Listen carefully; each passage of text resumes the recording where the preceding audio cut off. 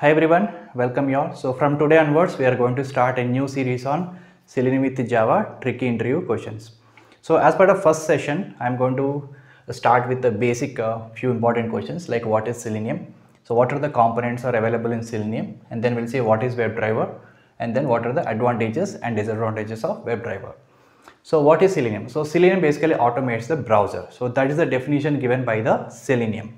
So Selenium is automate the browser. If you have any application which we can uh, open on the browser, we can automate it and which contains a multiple components like we have Selenium IDE, Selenium WebDriver, Selenium Grid and Selenium RC.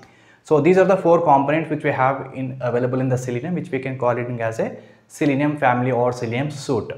So from Selenium 2 onwards, uh, Selenium uh, WebDriver is introduced instead of RC and people have started using Selenium WebDriver and uh, RC is uh, uh, deprecated from Selenium 3 onwards and WebDriver becomes uh, more popular and having more demand in the current market.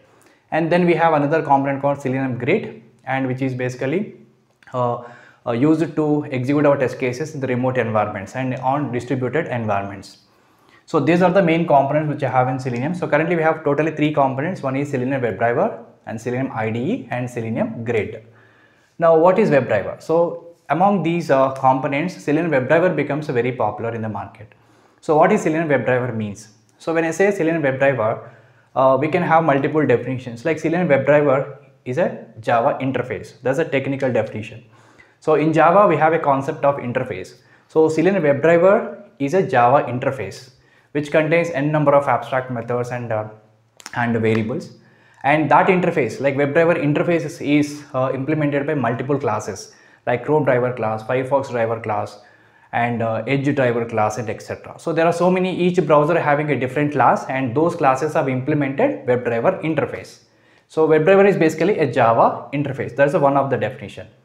And we can say WebDriver is also an API, application programming interface. So what is an API means API contains a n number of classes and methods and by which we can uh, communicate with the client and server. So WebDriver is an API because which contains n number of classes and methods and we are trying to invoke the method from WebDriver and those methods will directly talk to the browser and will perform the actions. So WebDriver is acting as a mediator between our browser and our client library. So WebDriver is an API. And the other definition is WebDriver is a one of the component in Selenium. WebDriver is a one of the component in Selenium by which we can automate the browsers. So WebDriver is provided various number of commands so by which we can interact with the elements on the web page and we can do different type of actions on the web applications. So that is all about Selenium WebDriver. So the first definition is Selenium WebDriver is a Java interface. Selenium WebDriver is an API which contains a different type of uh, uh, methods and classes which we can call it as a library and Selenium WebDriver is a one of the component in Selenium suite. Now what are the advantages and disadvantages of Selenium?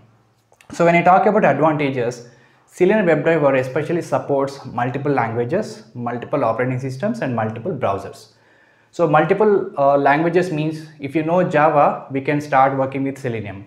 And similarly, if you know Python or C Sharp or JavaScript, you can start working with the Selenium, Selenium WebDriver. So Selenium WebDriver supports multiple languages and similarly Selenium WebDriver support multiple operating system means we can configure Selenium WebDriver on multiple operating systems like Windows, Mac or Linux and etc.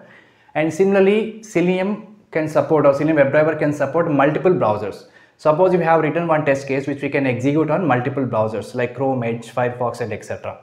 So it supports multiple operating systems, it supports multiple languages, it supports multiple browsers. They are the main advantages of Selenium WebDriver. And moreover, it is open source and freely available and we can just download the libraries and we can just configure it and we can start working with the Selenium WebDriver. So this is completely open source and freely available. Now, we have uh, some disadvantages also there. So Selenium automates only browser. Apart from the browser, it cannot take care of any other things. But in automation, we need to take care of a lot of other things like we need to do perform we need to perform data driven testing like where we have to specify the data in the Excel files and uh, sometimes uh, uh, we need to generate the reports also which is very very important at the end of the day we need to showcase all the results in the report so these things are not available uh, these things are not possible by using Selenium WebDriver. So we don't have specific classes and methods in Selenium WebDriver because which is designed only for web automation. So report generation is not there and it doesn't support Excel files and moreover it doesn't automate the it cannot automate the window based application. Suppose when I see some something called file upload or file download scenarios where we can we should able to interact with the windows. So Selenium WebDriver doesn't support those type of scenarios.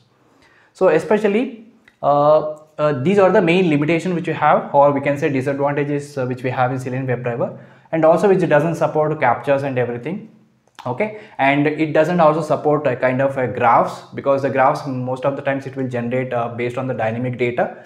So graphs we cannot automate. So these are some limitations or disadvantages which you have in Selenium WebDriver but still we can overcome those challenges by integrating third-party tools uh, in Selenium WebDriver so for example if you want to automate uh, Windows based applications then we can just integrate with AutoIT or we have also option called Sikuli Similarly, if you want to perform uh, some data-driven testing using Excel, we can use Apache POI library. We can integrate with our Selenium WebDriver. We can achieve it. Similarly, if you want to generate reports, we can integrate third-party reports like Extent reports and Allure reports, etc. So wherever we can see some limitations and uh, we can integrate some third-party tools and we can overcome those challenges.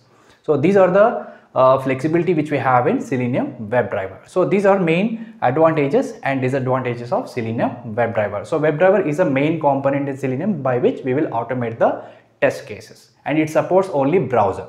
Okay.